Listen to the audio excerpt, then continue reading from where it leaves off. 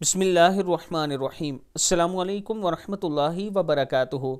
عابد راجہ channel کی طرف سے آج میں اپنے دوستوں کو رسول اللہ صلی اللہ علیہ وآلہ وسلم کی بتائی ہوئی ایک دعا بتاؤں گا۔ آپ دوست بھی اس پر عمل کریں۔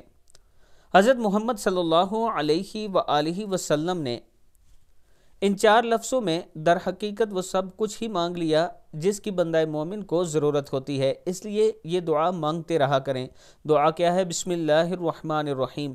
اللہم انی اسألک الہدا والتقا والعفاف والغنا۔ والتقا والعفاف والغنا۔ اے میرے پیارے اللہ، میں آپ سے ہدایت پریزگاری پاک دامنی اور دل کی مالداری چاہتا ہوں۔